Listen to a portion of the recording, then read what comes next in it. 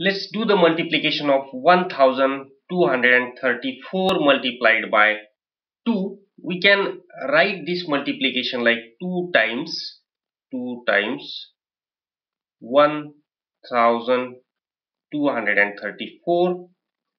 What I would like to do in multiplication is to arrange this multiplication vertically and take larger number at the top. So 1234 multiplied by 2 so this will become 1234 times 2 so in the first step take 2 times 4 2 times 4 equal to 8 so we have to write this 8 at the below in the unit place of the product so this 2 times 3, 2 times 3 is 2 times 3 is 6. So we have to write this 6 in the product and then 2 times 2.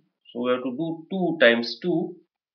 So this is 2 times 2 equal to 4. So we have to write 4 in the product and at the last 2 times 1 so 2 times 1 equal to 2 so we have to write this 2 in the product.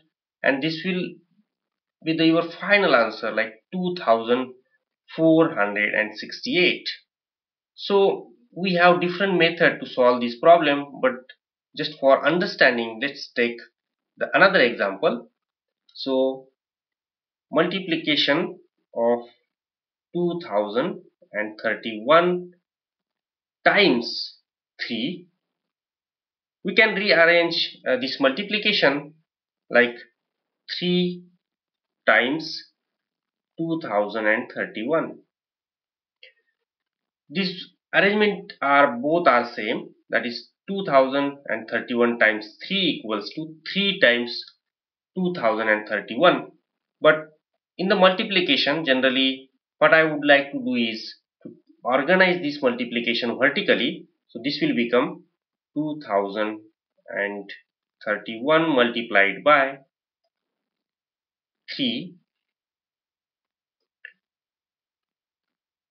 here in the first step 3 times 1 so let me write that.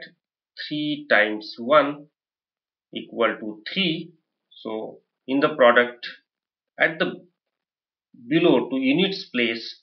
So we have to write 3 then we have 3 times 3 so 3 times 3 is 9 and we have to write this 9 in the product.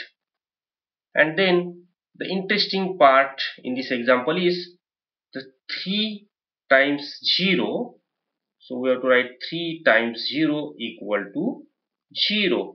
In fact, if you multiply any number with 0 is 0. So we have to write this in product and at the last 3 times 2.